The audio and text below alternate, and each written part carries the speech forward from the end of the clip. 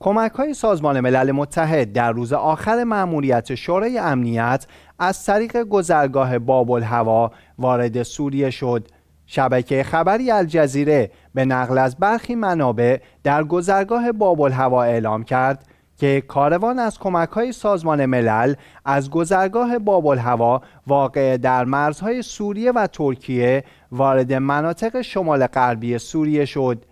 این منابع اظهار کردند که این آخرین کاروانی بود که بر اساس قطنامه شماره 2672 سازمان ملل که دوشنبه تاریخ آن به پایان رسید وارد خاک سوریه شدند.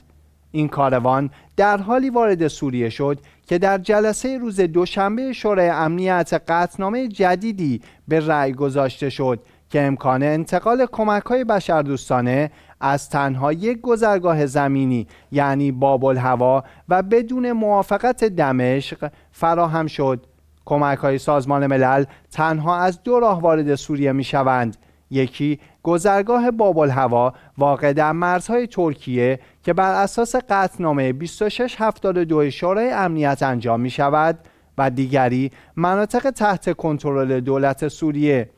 در مناطق خارج از کنترل دمشق یعنی شمال غرب سوریه بیش از چهار میلیون تن سکونت دارند که نیمی از آنها را آوارگان تشکیل می دهند و زندگی 90 درصد آنها به کمک های بشردوستانه وابسته است.